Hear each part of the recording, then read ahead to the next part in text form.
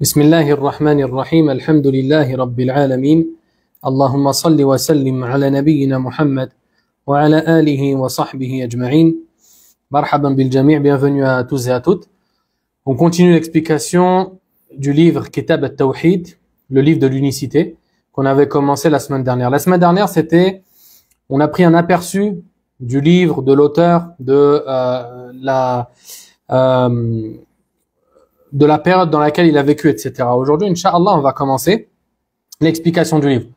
Cependant, en guise d'introduction, j'aimerais vous évoquer une grande règle de l'islam. Une règle qui est primordiale dans l'époque dans laquelle on vit. Allah Azza wa Jal nous dit dans Surat Al-Hujurat Ya amanu in ja'akum binaba'in fatabayyanu أن تصيبوا قوما بجهالة فتصبحوا على ما فعلتم نادمين. Ô vous qui avez cru, si un homme sans, sans moralité vous apporte une nouvelle, assurez-vous de sa véracité, de crainte de porter préjudice à des innocents sans le vouloir et ensuite de le regretter. Dans ce verset, Allah Azza wa Jal nous appelle à vérifier les informations qui nous parviennent. De surcroît, lorsque l'information nous parvient d'une personne sans moralité, une personne qui est euh, qui peut probablement dire des mensonges et propager ces derniers. Et ça, c'est une méthodologie que le musulman se doit d'adopter dans toute sa vie. Lorsque quelqu'un vient te voir et t'apporte une information, lorsqu'il te dit quelque chose, assure-toi toujours de la véracité de ce qu'il te raconte. Et ce verset-là a été l'un des principaux sur lesquels se sont appuyés les savants du hadith lorsqu'ils ont, ils se sont retrouvés face à un problème qui était énorme en réalité. Le fait de savoir quels étaient les hadiths du prophète sallallahu alayhi wa sallam qu'il pouvait accepter et ceux qu'il devait rejeter. Car tout le monde est capable de dire le prophète sallallahu alayhi wa sallam a dit telle et telle chose. Et vous êtes, vous n'êtes pas sans savoir que la parole du prophète sallallahu alayhi wa sallam, ses actions ainsi que ses approbations font partie de la législation de notre religion. Ainsi, les hadiths font partie de ce, qui va nous permettre de savoir ce qu'Allah attend de nous. Comment il faut prier, comment il faut jeûner, comment il faut effectuer le hajj, etc. Ainsi, il était primordial que de pouvoir différencier entre le hadith qui est daif, qui est faible et qui est faux, et le hadith authentique qui a été et les propos qui ont été tenus de la part de notre prophète sallallahu alayhi wa sallam. Ainsi, ce verset-là, comme je vous l'ai dit, c'est un, une méthodologie pour le musulman dans toute sa vie. Tu vas être amené à entendre des gens te rapporter des choses sur la religion, sur la croyance. Telle était la croyance des compagnons, par exemple. Oh, les compagnons disaient telle et telle chose au sujet d'Allah Azza wa Jal, ou croyaient telle ou telle chose. Mais comment, en appliquant ce verset, tu peux, en appliquant ce verset, tu peux savoir et tu peux différencier et distinguer entre le vrai du faux? Ceci car tu vas devoir analyser deux choses. Premièrement, la personne qui t'apporte cette nouvelle-là. Qui est-ce? Toi qui prétends que les compagnons, par exemple, ont dit telle et telle chose. D'où est-ce que tu as entendu ça? Où est-ce que tu as appris ça? Et deuxièmement, de par l'information elle-même. L'information est vérifiable et c'est ce que les savants s'efforcent à faire, principalement les savants du hadith. D'accord? Et c'est pour ça qu'aujourd'hui, on peut tout vérifier par la grâce d'Allah Azza wa Jal. Et ainsi, c'est ce que je vous recommande. Lorsqu'une personne vient vous voir et vous apporte des, des nouvelles, et plus particulièrement lorsqu'il s'agit de la religion, assurez-vous toujours, assurez-vous toujours de la véracité de ses propos. Parce que c'est de la religion de la personne qu'il est en jeu. Une personne qui vient vous apporter des choses alors qu'elles sont mensongères, vous allez vous retrouver à adorer Allah Azza wa Jal ou à croire à une chose qui est fausse et de ce fait vous égarer. Demandons à Allah Azzawajal de nous guider sur le trois chemins et de nous préserver de tout égarement ou d'être nous-mêmes des personnes qui égarons autrui. Taïb. Concernant le livre, le Cheikh Rahimahullah a dit Bismillahir Rahmanir Rahim. Au nom d'Allah, le tout miséricordieux, le très miséricordieux. Voici le livre de l'unicité. C'est ainsi qu'il a commencé son livre. Il est coutume chez les savants que de débuter leur livre par une introduction dans laquelle ils vont présenter leur ouvrage, citer, euh, la, la, citer la raison de leur écriture, etc., etc. Mais ici, le Cheikh Rahimahullah a commencé directement. Il a dit Bismillahir Rahmanir Rahim. Voici le livre de l'unicité. Et ici, l'auteur a commencé premièrement par ce qu'on appelle en arabe al-basmala. Cette formule qui consiste à dire Bismillah ou Bismillahir Rahmanir Rahim. Et ici, l'auteur a commencé par cela afin de se conformer au Coran lui-même. Car Allah Azza a débuté toutes les sourates par Bismillahir Rahmanir Rahim, hormis une sourate qui est sourate At-Tawbah, la sourate numéro 9 du Coran. Et le prophète sallallahu alayhi wa sallam avait aussi l'habitude de commencer ses écrits qu'il envoyait au roi, qu'il envoyait aux, aux différentes personnes, il avait l'habitude de les commencer par Bismillahir Rahmanir Rahim. Cette formule, Bismillahir Rahmanir Rahim, en réalité, lorsqu'on l'a dit, on recherche la bénédiction d'Allah Azzawajal dans l'affaire que l'on entreprend. Ainsi, celui qui dit Bismillahir Rahmanir Rahim, en réalité, il dit, au nom d'Allah, je commence cette action. Il recherche dans l'action qu'il va accomplir la bénédiction d'Allah. C'est comme s'il disait, Ya Allah, mets ta bénédiction dans l'action que je vais entreprendre. Il y a un hadith qui a été rapporté, hadith d'Abu Huraira radiallahu anhu, dans lequel le prophète sallallahu alayhi wa sallam a dit, كل كلام أو أمر ذي بال لا يفتح بذكر الله فهو أبتر أو أقطع. Ce qui veut dire, toute parole ou toute action qui ne commence pas par l'évocation d'Allah est certes réduite ou manquante. Le hadith et tous les hadiths apportés dans, rapportés dans ce sens-là ont été jugés faibles. Toutefois, lorsque tu regardes les généralités qui ont été rapportées dans les textes, aussi bien dans le Coran que dans la tradition prophétique, tu arrives à la conclusion que commencer les affaires importantes en évoquant Allah Azza est quelque chose de recommandé. C'est pour ça qu'il a été dit, qu'il a été rapporté dans Al-Mawsu' al-Fiqhiyya, euh, euh, ses auteurs ont dit, la plupart, la quasi-majorité ou la quasi-totalité, pardon, des jurisconsultes ont été unanimes quant au fait d'affirmer que commencer, euh, que commencer toute affaire importante par Bismillah est recommandé. طيب.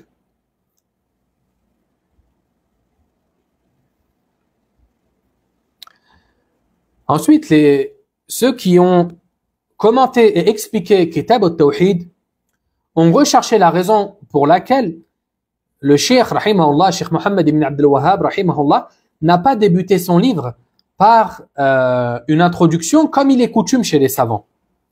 Plusieurs hypothèses ont été évoquées.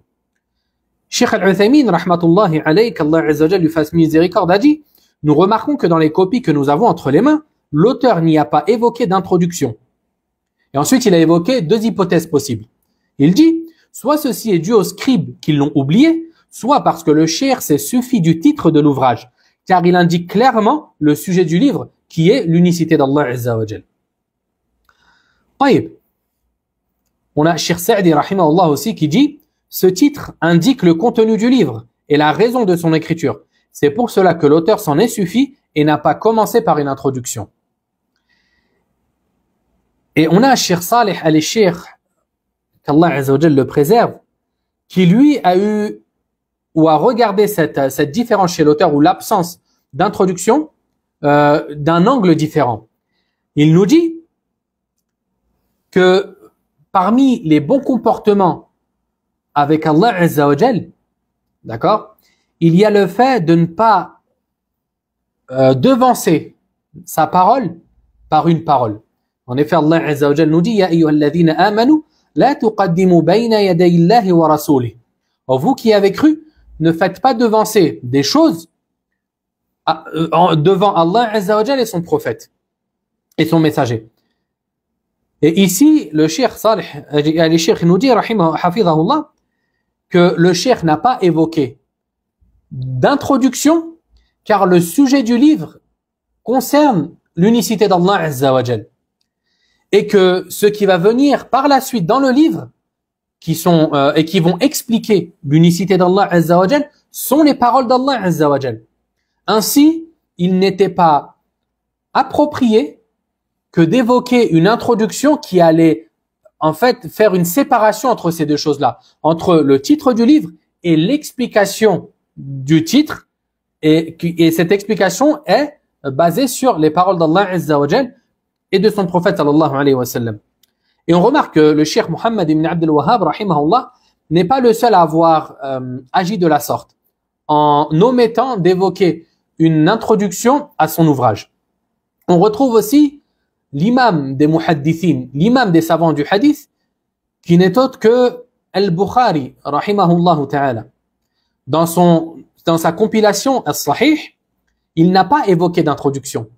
Il a débuté directement par Bismillahir Rahmanir Rahim, et ensuite il a évoqué le premier hadith, Innamal a'malu bin.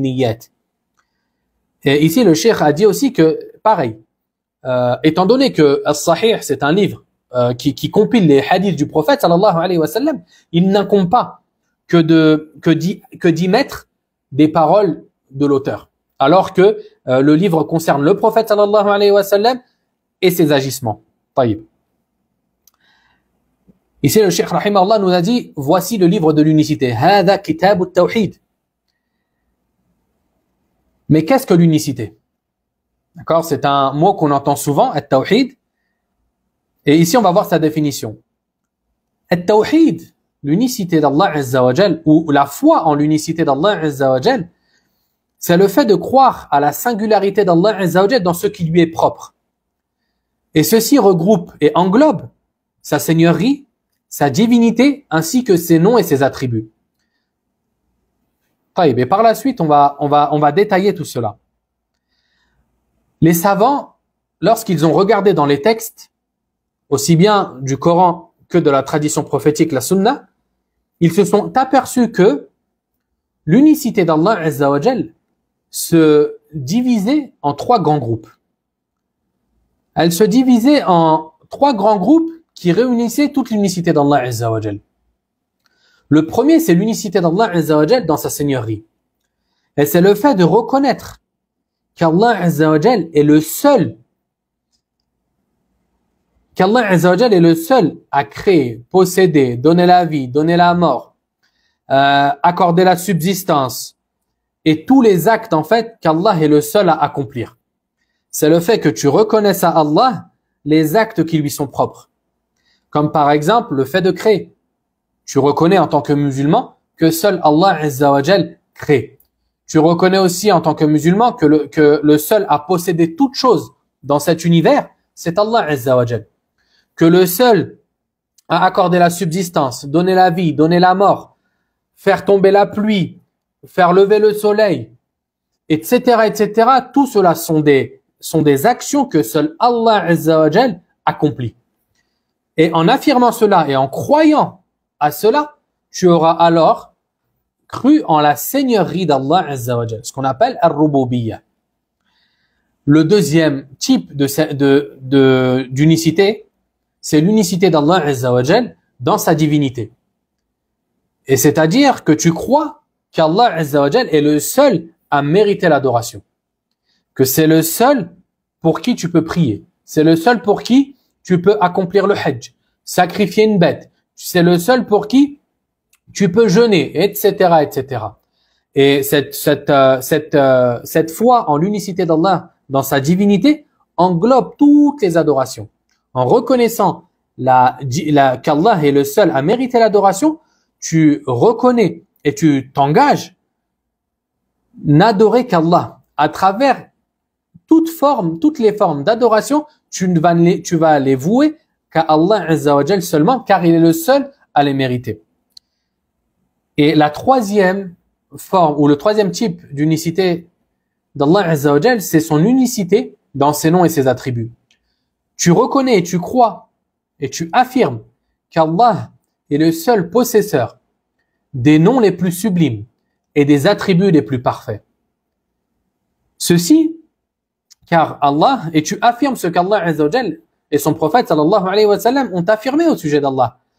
D'accord? Lorsqu'Allah Ta'ala nous dit qu'il s'appelle Al-Hakim, Al-Sami' Al-Alim, Al-Basir, Al-Jabbar, Al-Mutakabbir, et que Allah Azza wa a l'attribut de la force, l'attribut de la toute puissance, l'attribut de la connaissance, etc., etc., eh ben, tu affirmes comme cela a été apporté.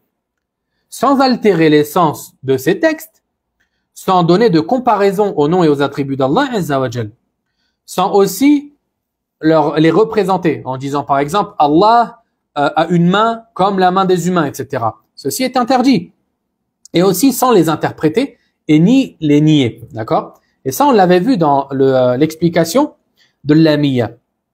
Taïb. Ceci sont les trois formes d'unicité en Allah Azza wa D'accord? Et ces trois formes-là sont... Le, musulman n'est pas musulman tant qu'il n'a pas reconnu ces trois formes d'unicité-là. Taïb.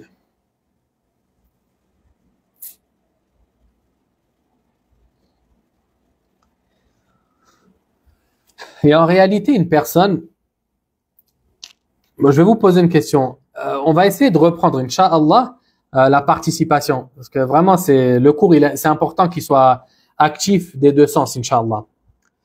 Taïb. Une personne qui reconnaît qu'Allah est le créateur et le seigneur de toutes choses, euh, qu'il est le pourvoyeur, celui qui donne la vie, celui qui donne la mort, est-ce que cela fait de lui un musulman?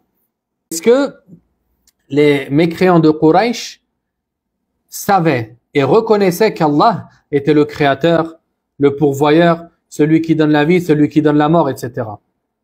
Ahsant. Ils y croyaient. Est-ce que ça a fait d'eux des musulmans? On est, on est tous unanimes quant au fait de dire que cela n'a pas fait d'eux des musulmans. D'accord? Et on comprend à partir de là que reconnaître l'unicité d'Allah dans sa seigneurie ne suffit pas afin d'être musulman. Et ce n'est pas ça que les euh, mécréants de Quraysh ont combattu.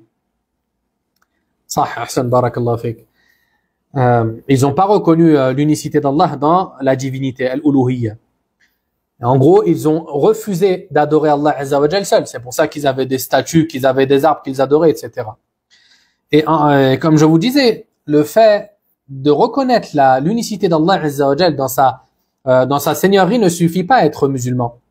C'est pour ça que un grand nombre de personnes s'est trompé lorsqu'ils ont expliqué la ilaha illallah comme voulant dire et voulant signifier la khaliqa illallah wa la rabba illallah.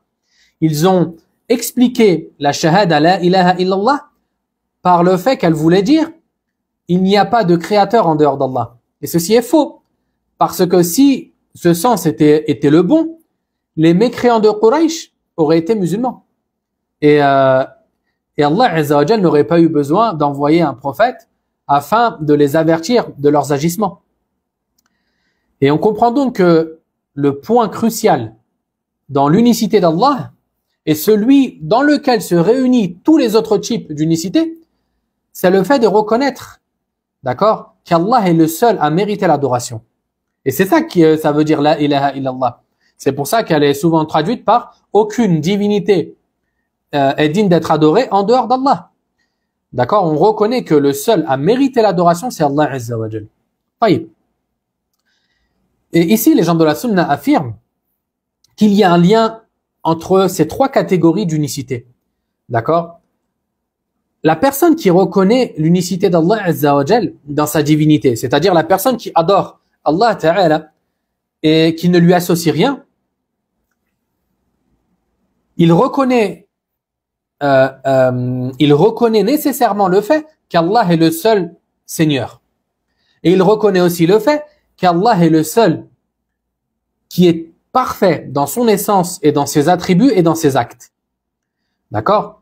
Ceci car tu ne peux adorer quelqu'un si ce n'est en pensant que euh, celui que tu adores est parfait. D'accord? Celui que tu adores est parfait. Et c'est pour ça que ces trois liens euh, d'unicité sont intimement liés. Cheikh al-Islam ibn Taymiyyah rahmatullahi alayhi dit à ce sujet, la foi en l'unicité d'Allah dans sa divinité englobe et comprend la foi en son unicité dans la seigneurie. En effet, n'adorer qu'Allah implique l'infirmation de la seigneurie d'autrui. Et ça, subhanallah, c'est une phrase qui te regroupe euh, tout ce qui a, qui a précédé. Il te dit, n'adorer qu'Allah implique l'infirmation de la seigneurie d'autrui. D'accord? Lorsque tu, étant donné que tu adores que Allah eh ben, ça, en fait, tu, tu infirmes, d'accord? Tu infirmes le fait qu'il y a un autre Seigneur. Taïb, si vous avez des questions, n'hésitez pas. Taïb, Ibn Kathir, rahmatullahi alayhi, a dit dans son tafsir, plusieurs fois, Allah Azza wa a affirmé sa divinité à travers la reconnaissance de sa seigneurie. Et ça, c'est quelque chose qui est très présent dans le Coran. Dans énormément de versets, Allah Azza wa nous évoque le fait qu'il est le Seigneur, qu'il est le créateur des cieux et de la terre, etc. Et de ce fait qu'il mérite l'adoration, qu'il est le seul à mériter l'adoration. طيب.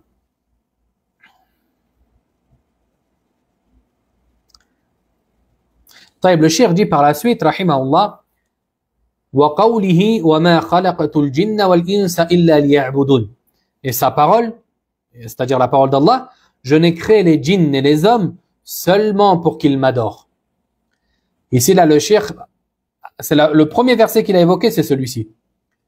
Et Allah Azza dans ce verset-là, nous informe d'une chose extrêmement importante. Il nous informe de la raison pour laquelle toi et moi sommes présents sur cette planète. Il nous informe pourquoi Allah a créé les cieux et la terre. Pourquoi il a établi sur terre les djinns et les hommes. Il les a établis pour, pour une chose seulement, qui est son adoration. C'est-à-dire que ta présence sur terre n'est pas anodine. Et le seul but pour lequel tu as été créé, c'est d'adorer ton Seigneur, celui qui t'a créé. Et il n'y a pas d'autre but que celui-ci. C'est le but ultime pour lequel tu es présent sur cette planète. Ainsi sache, ô toi le musulman, ô toi la musulmane, que lorsque tu adores Allah, en réalité, tu œuvres comme ton Seigneur veut que tu œuvres. Et, il, tu, et tu œuvres pour la raison de ta présence sur cette planète. Certains aiment à dire, oh vous les musulmans, on est au 21e siècle et vous ne savez toujours, et vous parlez toujours des ablutions, comment faire les ablutions. Oh vous les musulmans, on est au 21e siècle et vous nous racontez toujours qu'est-ce que c'est le tawhid, qu'est-ce que c'est l'unicité d'Allah. Les gens sont montés sur la lune et vous, vous êtes encore à nous parler comment faire la prière. Mais subhanallah, ces gens-là ont oublié que parmi ceux qui sont montés sur la lune, certains d'entre eux ne savent toujours pas pourquoi ils sont sur cette terre. Ils ont beau être montés haut dans la création, mais wallahi qu'ils ne savent pas pourquoi ils ne savent pas pourquoi ils sont sur Terre. Tu vois des docteurs, des professeurs universitaires qui ont atteint les plus hauts degrés de la science mondaine. Toutefois, ils se prosternent pour des singes, pour des vaches. Certains, encore pire que ces derniers, pensent que leur présence sur Terre est due au hasard, qu'ils sont le fruit de l'évolution d'un singe, ou d'un chimpanzé, ou d'un homo sapiens, comme ils aiment à le dire.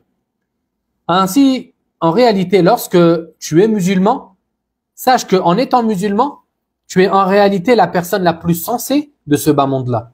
Wallahi, même si tu n'as pas de grand diplôme, même si dans ta vie tu as arrêté tes études très tôt, sache qu'Allah Azza wa t'a honoré par l'islam et il t'a permis, il t'a accordé la félicité, la réussite afin d'œuvrer et de vivre pour la raison pour laquelle tu as été créé Ainsi, lève ta tête avec l'islam et sois fier d'être musulman, car en réalité, tu es en train de remplir le rôle pour lequel tu as été créé.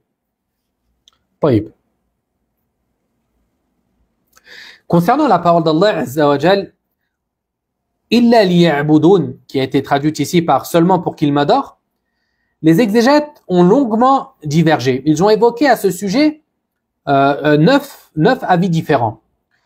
Toutefois, le plus, euh, le plus probable et le, plus proche, c'est par quoi il a été euh, défini ou euh, expliqué par les salafs. Bon nombre d'entre eux ont dit qu'ici le mot illa liya'budun signifie illa liyuwahidun, seulement afin qu'ils m'adorent exclusivement. D'accord? Et qu'ils reconnaissent la, euh, la divinité d'Allah Azza d'accord? Et qu'il est le seul à mériter l'adoration. C'est par cela qu'ils l'ont ils l'ont expliqué. Et ce qui, et ce qui prouve euh, la position ou l'avis qu'ils ont adopté, il y a la parole d'Allah Azza wa Jal que le shir a cité juste après, dans laquelle Allah Ta'ala dit وَلَقَدْ بَعَثْنَا فِي كُلِّ أُمَّةٍ رَسُولًا أَنِ اعْبُدُوا اللَّهَ وَاجْتَنِبُوا الطَّاغُوتَ Allah Ta'ala nous dit et nous avons envoyé à chaque communauté un messager qui leur a dit adorez Allah et éloignez-vous du tarout. Ici, Allah Ta'ala nous dit qu'il a envoyé tous les messagers et tous les prophètes avec deux mots. Avec deux mots. Le premier, adorez Allah. Et le second, écartez-vous du tarout. Et par la suite, on va voir qu'est-ce que le tarout. Et ici, ce verset-là explique le premier étant donné que Allah Ta'ala nous dit que la mission des prophètes et des messagers, c'était d'appeler les gens à l'adoration d'Allah exclusive, d'accord? Et, euh, et à leur interdiction, et afin de leur interdire le polythéisme. Taïb.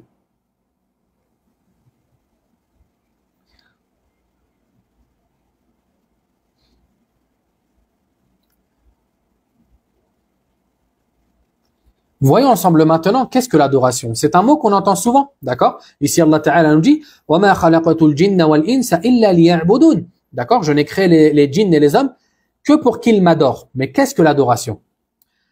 L'adoration, l'ibada, le mot ibada en arabe, tire sa racine de trois lettres. Abada. Et abada en arabe signifie ou correspond à l'obéissance avec humilité et soumission.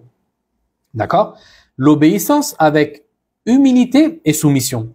C'est pour ça que le poète Paraf ibn al-Abd, qui est né en 543 euh, de l'ère grégorien et qui est mort en 569, il a vécu à l'époque de l'ignorance, bien avant le prophète sallallahu alayhi wa sallam. Il dit dans euh, dans sa poésie qu'on appelle Mu'allaqa, d'accord?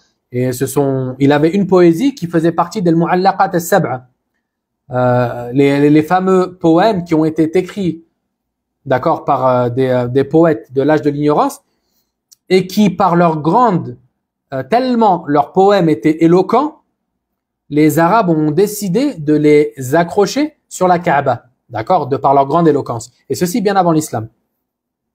Il dit, euh, il dit, il a kulluha wa ifrad al-ba'iri El Mu'abbadi. Ce qui signifie au point que tous mes proches me fuirent et que je devins tel le chameau humilié. Ici, euh, ce qui nous importe, c'est le mot El Mu'abbad. D'accord? Afin de comprendre qu'est-ce que signifie El Ibada dans la langue arabe. Ici, il nous dit au point que tous les proches me fuirent et que je devins tel le chameau humilié. D'accord? El Ba'ir Mu'abbad, c'est le chameau qui est humilié. Ainsi, les Arabes utilisaient le mot euh, euh, mu'abbad ou abada afin d'exprimer l'humiliation, la soumission, le rabaissement et l'obéissance. Quant à son sens religieux, les, savants l'ont défini de bien des manières. D'accord? Ils l'ont euh, défini de bien des manières. Toutefois, la définition la plus complète, c'est celle qui a évoqué Cheikh al-Islam ibn Taymiyyah rahimahullah ta'ala lorsqu'il nous dit L'adoration, c'est un nom qui regroupe tout ce qu'Allah aime parmi les paroles et les actes apparents et cachés. Parmi les définitions aussi qui ont été évoquées,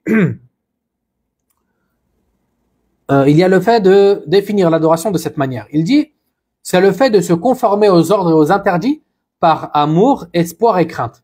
D'accord? C'est le fait de euh, se conformer aux ordres d'Allah et à ses interdits, et tu fais cela poussé par l'amour, l'espoir et la crainte. Par le fait que tu aimes Allah le fait que tu le crains et le fait que tu espères sa récompense.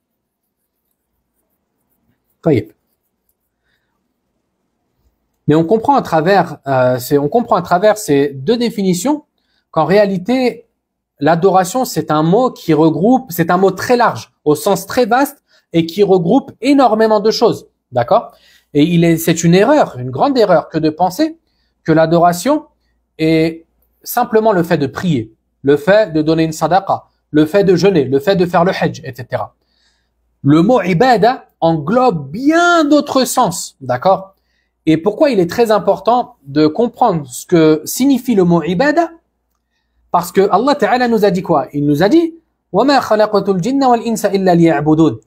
Ainsi, toutes les adorations doivent être vouées exclusivement à Allah.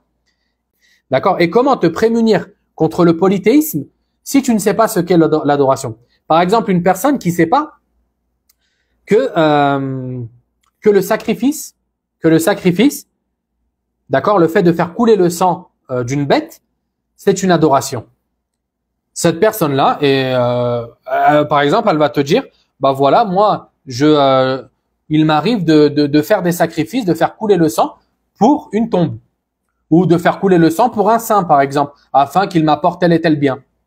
Une personne qui sait pas que le fait de le sacrifice, c'est une adoration, en faisant ça, il est tombé dans une forme de polythéisme majeur, par exemple. D'accord? Une forme de polythéisme majeur qui fait sortir de l'islam. Le polythéisme majeur au sujet duquel Allah Azza a dit Inna Allah la yaghfiru an wa yaghfiru ma duna dhalika. Certes, Allah ne pardonne pas qu'on lui associe. Et il pardonne en dehors de cela à qui il veut. C'est pour ça qu'il est très important de savoir qu'est-ce que l'adoration. Et c'est la raison pour laquelle, comme je vous l'ai dit au cours précédent, c'est la raison pour laquelle le shir a écrit ce livre. Afin que, afin de prévenir les gens de qu'est-ce que l'adoration. D'accord? Et de comment concrétiser notre foi en l'unicité d'Allah Azzawajal. Afin de pouvoir rentrer au paradis et d'être préservé du feu de l'enfer. Ibn al-Qayyim ta'ala a dit une parole qui met en lumière la grande vastitude de l'adoration et de ce mot-là. Il nous dit, rahimahullah, la servitude al-ubudiyya repose sur 15 fondements. Celui qui les parachève aura parachevé la servitude. Cette dernière est divisée entre le cœur, la langue et les membres. Chacun de ceux-là ont une part de servitude qui leur est spécifique. On comprend que, subhanallah, Allah Azza nous a créés et il a assigné à chaque membre qui nous compose une forme d'adoration qu'on peut lui vouer. Et ça, subhanallah, c'est, euh, ça fait partie de la miséricorde d'Allah Azza Afin que le musulman puisse gagner des hasanat encore et encore. En adorant son Seigneur avec tous les membres. Par exemple, une personne qui, est née sans bras. D'accord? Eh ben, ce n'est pas parce qu'il n'a pas de bras qu'il ne peut pas adorer Allah Azza Ou une personne qui est née aveugle. Ce n'est pas parce qu'elle n'a pas de yeux qu'elle ne peut pas adorer Allah Azza wa Car Allah subhanahu wa ta'ala lui a accordé des membres d'accord, d'autres membres, afin et à travers lesquels il peut adorer Allah Azza wa aussi. Par exemple, les yeux. Comment adorer Allah Azza wa avec ses yeux?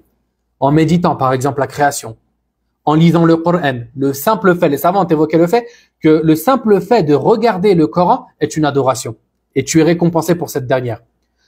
Et en fait, à travers, subhanallah, tous les membres, tu peux adorer Allah Azza wa Jal.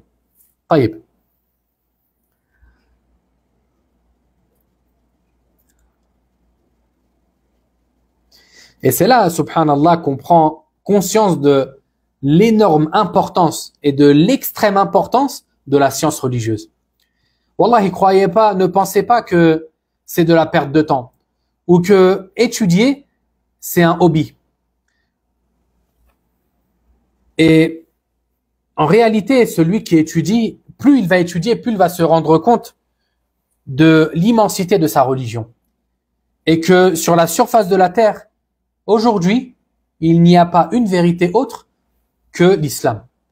Wallah, celui qui étudie, et ça, ce n'est pas les paroles d'un fanatique, ce ne sont pas les paroles d'un fanatique ou d'une personne qui parle poussé par euh, parce qu'il est musulman.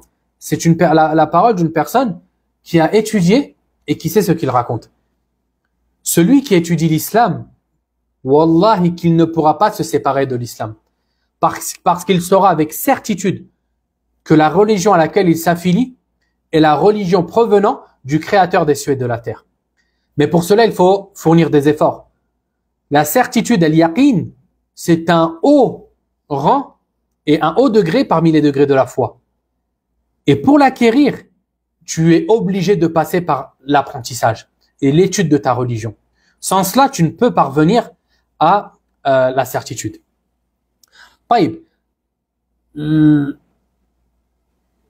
En lisant, en lisant le Coran, en le regardant.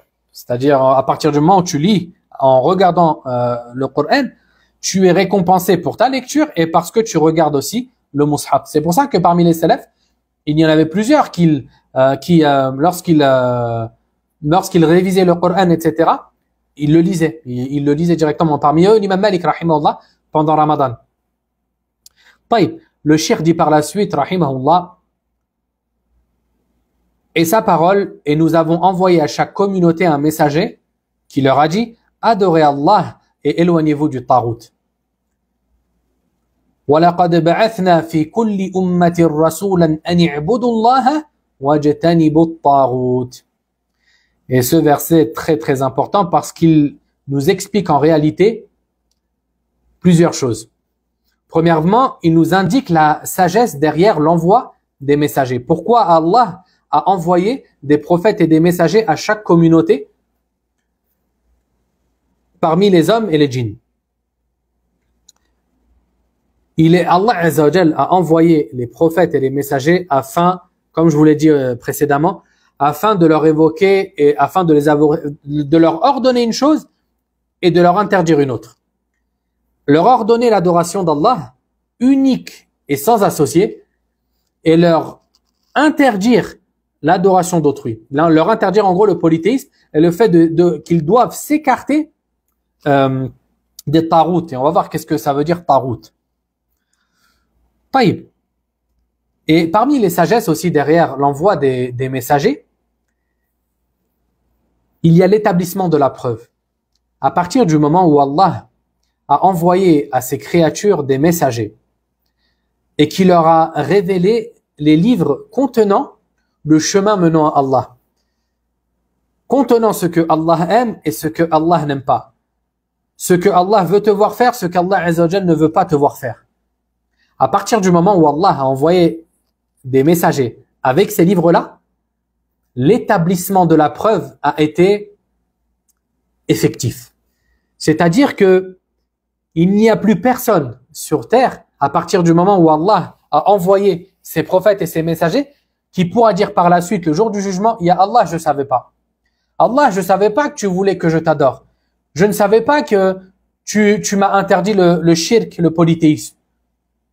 Non, Allah Azza il t'a envoyé, et ça, ça fait partie de la sagesse et de la miséricorde d'Allah Azza que le fait qu'Allah Ta'ala ne châtie personne sans avoir au préalable euh, averti cette personne-là.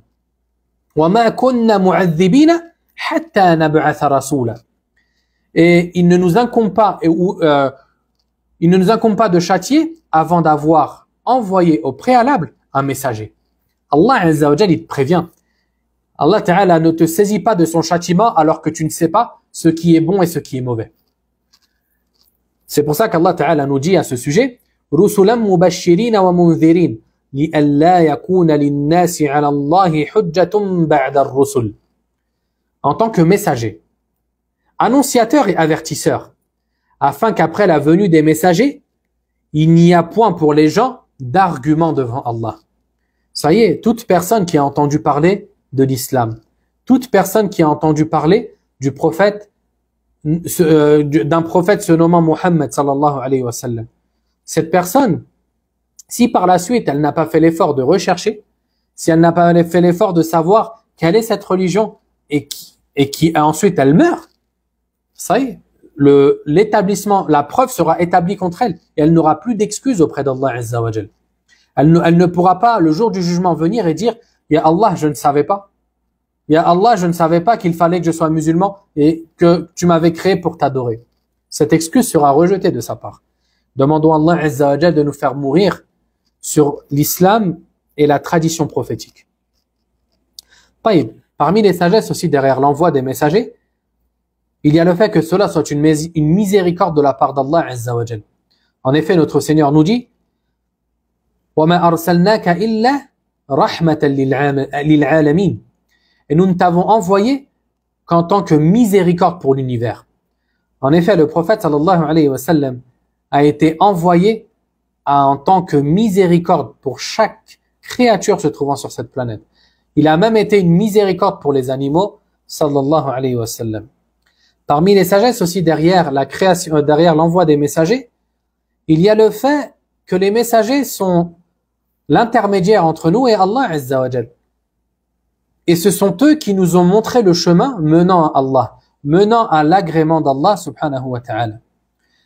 Car l'homme ne peut connaître ce chemin si ce n'est à travers la révélation.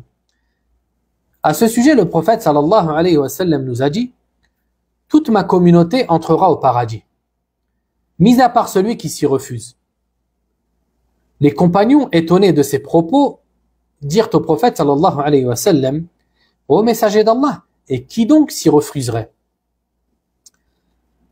Le prophète sallallahu alayhi wa sallam leur répondit Celui qui m'obéit entrera au paradis, et celui qui me désobéit aura certes refusé.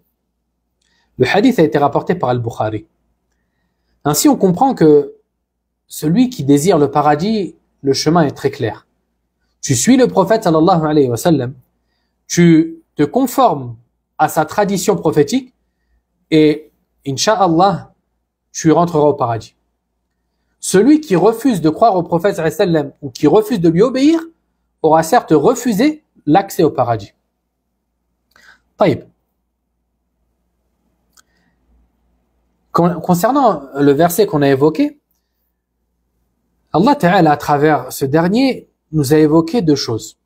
Premièrement, qu'il doit être le seul et qu'il est le seul à mériter l'adoration. U'budullah.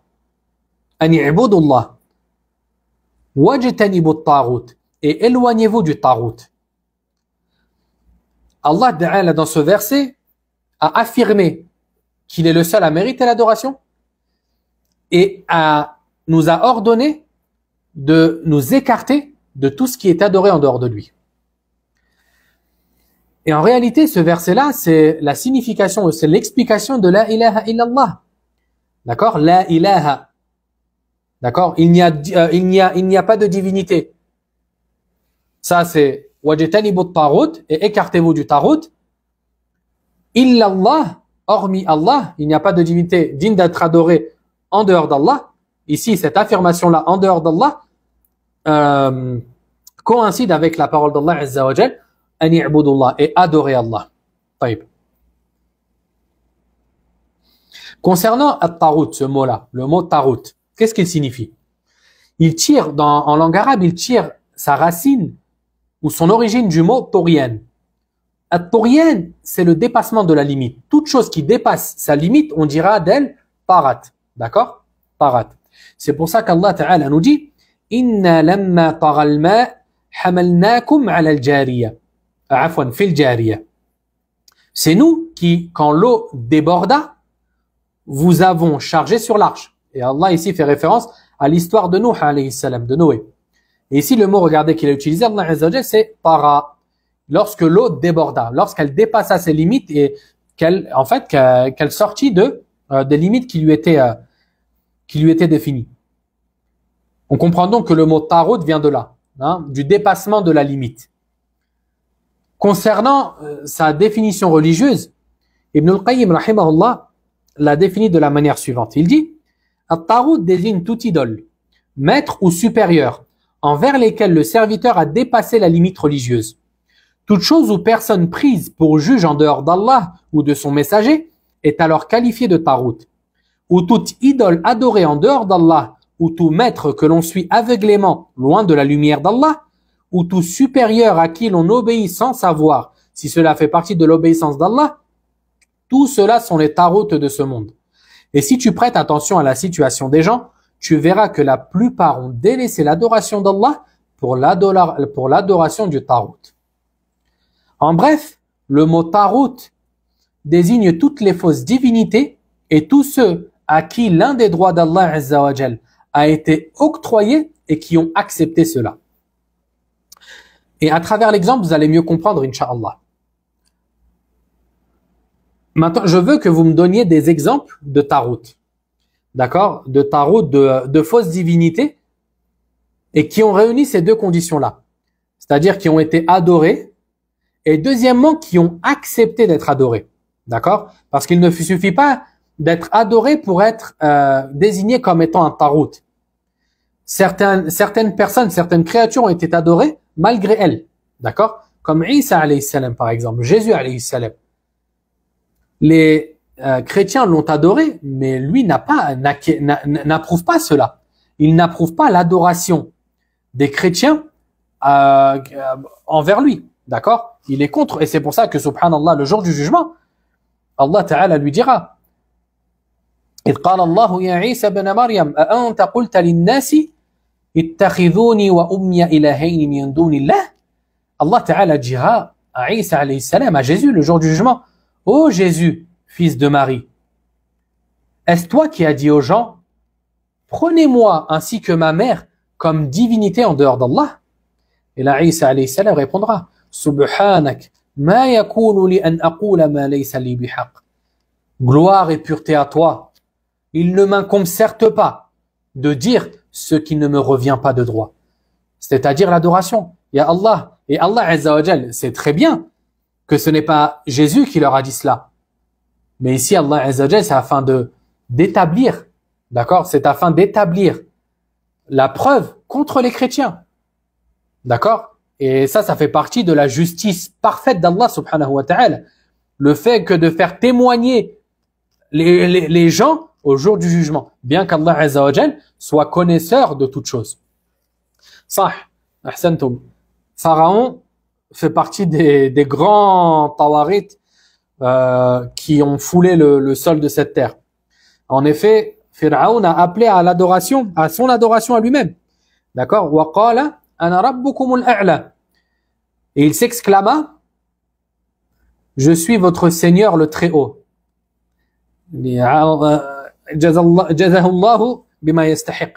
Qu'Allah leur rétribue de la manière dont il mérite.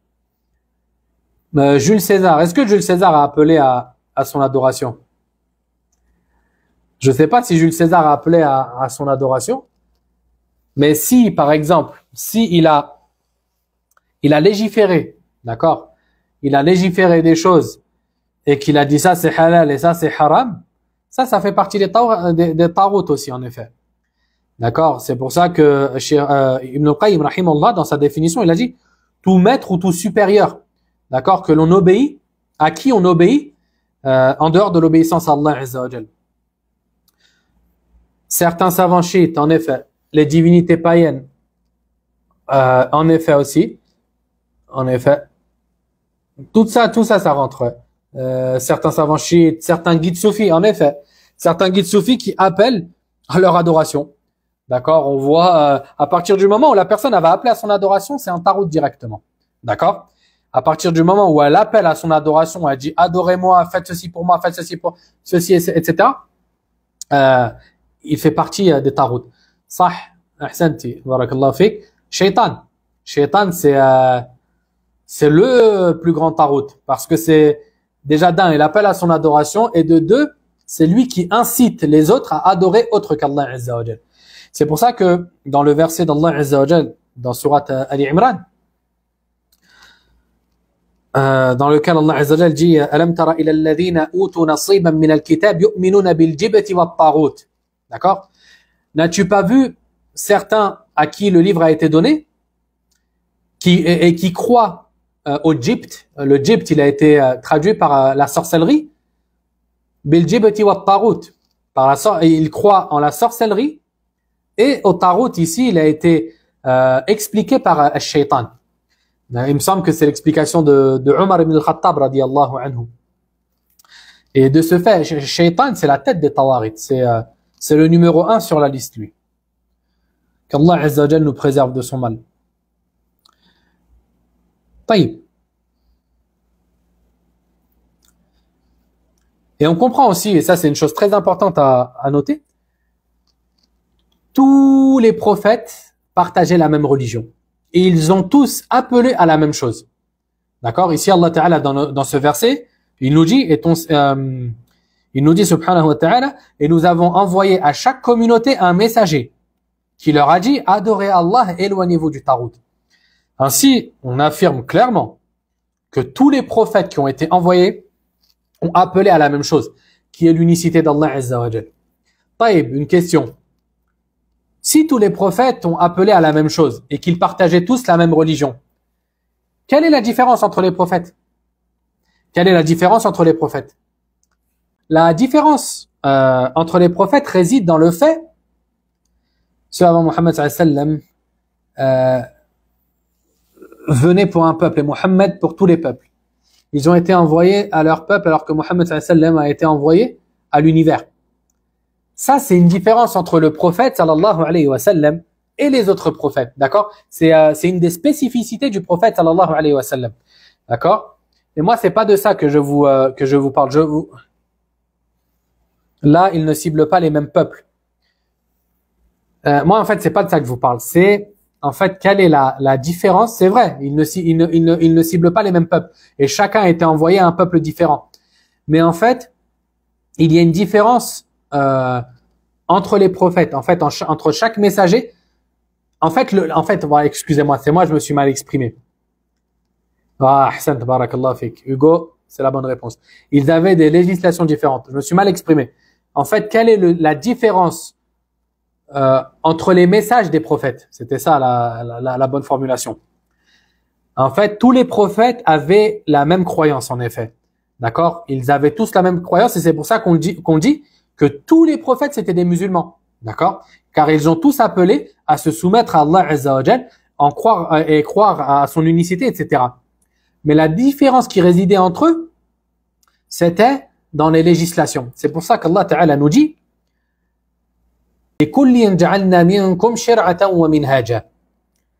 ce qui signifie et nous avons octroyé à chacun de vous une législation et une voie. D'accord? Chaque prophète avait une législation différente. Qu'est-ce que ça veut dire? Ça veut dire qu'ils avaient des interdits différents. Par exemple, euh, ça c'était halal pour un prophète et sa communauté, tandis que ça, ça ne l'était pas. Ils avaient une manière de prier qui leur était propre. Ils avaient par exemple une manière de jeûner qui leur était propre, euh, etc. Par exemple, je vais vous donner un, exemple euh, rapide. Les Juifs, d'accord, Moussa alayhi salam, les Juifs, lorsqu'ils prient, ils enlèvent leurs euh, leurs sandales, leurs chaussures, etc. D'accord? Ils ont la prière, ils prient, ils avaient la prière d'une certaine manière, etc. Et lors de la prière, ils devaient enlever leurs sandales ou leurs chaussures. Tandis que la communauté du prophète Mohammed sallallahu alayhi wa par exemple, ils ont droit de prier avec leurs chaussures. Plus encore, c'est recommandé pour le musulman que de prier avec ses sandales, avec ses chaussures. D'accord? Et ceci afin de se différencier euh, des juifs. Et, euh, et ça, c'est l'une des, euh, des différentes des spécificités de cette législation par rapport à celle-là. Et il y a plein d'exemples à ce sujet.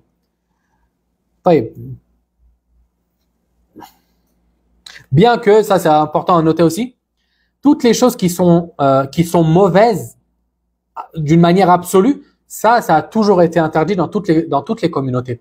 Par exemple, euh, l'injustice. L'injustice a été interdite dans toutes les communautés, d'accord? Dans toutes les communautés, l'injustice, l'injustice était interdite. Le polythéisme était interdit chez tous les prophètes. Euh, le meurtre était interdit chez tous les prophètes. Euh, la viande de porc était interdite pour toutes les communautés auxquelles Allah a envoyé des prophètes. Ceci car la viande de porc est un est une souillure en elle-même, d'accord? De ce fait, Allah, et bon, ça c'est une règle. Prenez cette règle-là. Allah Azza wa ne légifère rien qui est mauvais. À partir du, et une chose dans laquelle il y a du mal et du bien, à partir du moment où le mal est supérieur au bien, cette chose-là va être interdite. D'accord? C'est pour ça qu'Allah Ta'ala nous dit concernant euh, l'alcool et les jeux de hasard ou euh, la divination, euh, fihima khayrun, fihima naf'un linnas, fihima, subhanallah, ويسألونك عن الخمر والميسر قل فيهما إثم كبير ومنافع للناس وإثمهما أكبر من نفعهما d'accord وإثمهما أكبر من نفعهما Ici, Allah Ta'ala nous dit que dans l'alcool, il y a un bien. Dans l'alcool et dans, la, dans, euh, dans les jeux de hasard, etc. Il y a une forme de bien pour les gens. D'accord Par exemple, dans l'alcool, le fait que la personne trouve une certaine jouissance, d'accord, à boire cette boisson-là. Celui qui la vend va gagner de l'argent, etc. Mais le mal qu'il y a dans ces choses-là est supérieur et prépondérant euh, au bien. De ce fait, cette chose-là a été interdite. D'accord? Et c'est là qu'on comprend que dans notre religion et dans toutes les législations d'Allah Azzawajal, toute chose qui était mauvaise d'une manière absolue, cela n'a jamais été euh, autorisé. C'est pour ça que les chrétiens aujourd'hui qui mangent du porc euh, se sont écartés de la de la Bible elle-même, d'accord Bien qu'elle soit euh, qu'elle a été altérée, mais il y est évoqué le fait que le porc est une souillure et que le porc est un est un est un est un mauvais aliment et qu'il est interdit. Mais malgré ça, euh, il le mange. طيب, s'il n'y a pas de questions, on s'arrête là pour aujourd'hui. سبحانك اللهم وبحمدك أشهد أن لا إله إلا أنت أستغفرك وأتوب إليك je vous dis à la semaine prochaine, Inch'Allah ta'ala. Euh, qu'Allah Azzawajal vous préserve, qu'Allah Azzawajal nous accorde euh, l'honneur de mourir en tant que musulman, qu'il nous accorde le fait de l'adorer sincèrement et exclusivement, et qu'il nous préserve du polythéisme et de tous ses méfaits. Allahumma amin. Je vous dis à la semaine prochaine, Inch'Allah. Wa fikum barakallah.